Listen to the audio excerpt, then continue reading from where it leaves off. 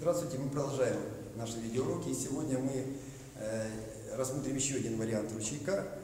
В этом ручейке партнер уже идет так же, как и в предыдущем случае, сквозь две шеренги бьющих людей. Но партнеры бьют не только руками, но и ногами.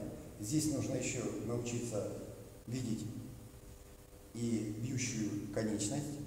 Можно выполнять его в двух вариантах. Можно выполнять медленно, и партнер работает с моей скоростью. А потом можно делать быстрее. То есть, если я иду медленно,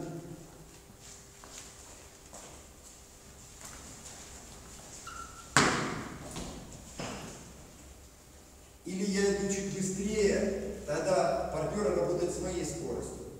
Но если я побегу, то партнеры в догонку ответят мне все по полной программе.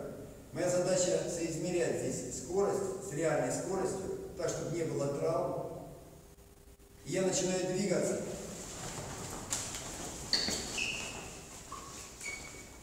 Сгребая съемами все возможные удары, причем на верхнем и на нижнем уровне я иду.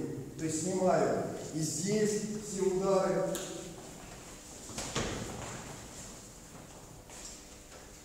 Ну, сейчас ребята покажут. Учебное упражнение. И здесь все учатся. И в бою вы можете пропускать удар. И нужно оставаться в ровном состоянии психологическом.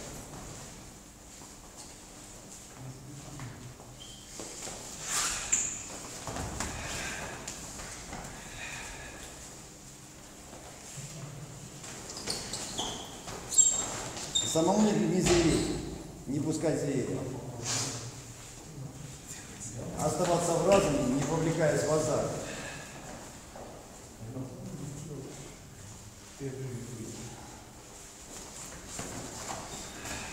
Быть в устойчивом положении, не потерять устойчивость, а не упасть внутри коридора.